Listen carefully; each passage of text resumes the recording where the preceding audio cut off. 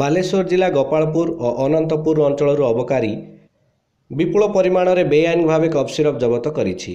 ସୋର ନୀଳଗିରି ଓ ବାଲେଶ୍ୱର ଅବକାରୀ ମିଳିତ ଚଢ଼ାଉ କରି ଏହି କପ୍ ସିରପ୍ ଜବତ କରିବା ସହ ଜଣେ ଅଭିଯୁକ୍ତକୁ ଗିରଫ କରିଛି ଅବକାରୀ ବିଭାଗ। ବାଲେଶ୍ୱର ଜିଲ୍ଲା ଗୋପାଳପୁରରୁ ପ୍ରଫୁଲ୍ଲ ପଟ୍ଟନାୟକଙ୍କ ରିପୋର୍ଟ। ଉତ୍କଳ ଖବର।